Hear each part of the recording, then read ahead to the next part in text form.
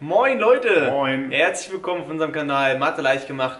In diesem Video der Playlist Wahrscheinlichkeitsrechnung schauen wir uns ein Baumdiagramm an und die Summregel, die damit automatisch mitkommt. Wir schauen uns Baumdiagramm bei einstufigen Zufallsexperimenten an.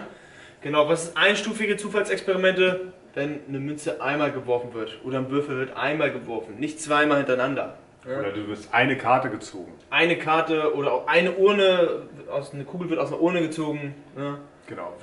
Zweistufige kommen dann später in der Playlist, müsst ihr gucken. genau. Ja? Schauen wir mal, wenn wir hier so eine Aufgabe haben, wird dazu oft ein Baumdiagramm gefordert. Ihr könnt es ja mal selber probieren, wenn ihr es nicht hinbekommt, zeigen wir es euch gleich, ne? Pausiert mal. Ein Baumdiagramm sieht so aus, man kann es von oben nach unten zeichnen oder von links nach rechts. Ist egal. Wir machen es mal von oben nach unten. Es geht hier los und wir gucken uns an alle Möglichkeiten, die es gibt. Und für jede Möglichkeit machen wir uns einen Strich oder das nennt man auch einen Pfad. Genau. Ne? Der Pfad für zur 1, die gewürfelt werden kann. Der zu 2, 3, 4, 5, 6. Für jede Zahl, die gewürfelt werden kann, kommt ein eigener Pfad hin. An den Pfad kommt die Wahrscheinlichkeit für dieses Ereignis. Die Wahrscheinlichkeit, dass wir eine 1 würfeln, ist ein Sechstel. Für 2 auch ein Sechstel. Das ist jetzt hier beim Würfel so, dass es überall ein Sechstel ist. Genau.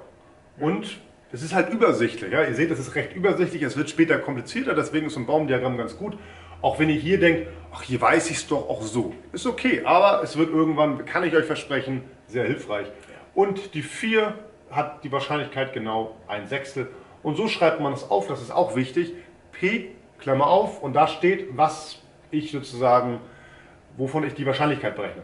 Klammer zu, ein Sechstel.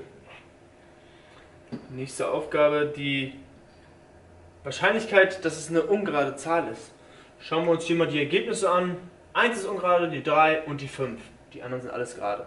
Also wir haben 1, 2, 3 Möglichkeiten, eine ungerade Zahl zu ziehen.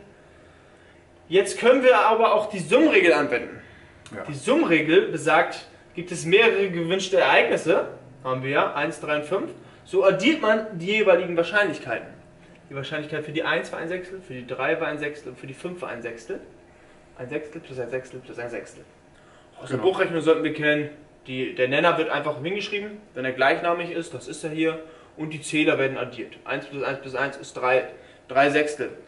Aus der Buchrechnung sollten wir dann nochmal kennen, dass wir das kürzen können. 3 Sechstel gekürzt ist ein Halb.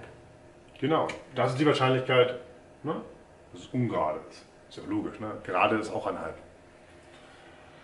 Keine 6, so schreibt man das auf. In Klammern, keine 6. Ja, keine 6 heißt ja 1, eine 2, eine 3, eine 4, eine 5. Das heißt, ich addiere, die Summenregel sagt ja alle Wahrscheinlichkeiten. 5 mal, ne, haben wir das, das gleiche Spiel, ist 5 Sechstel.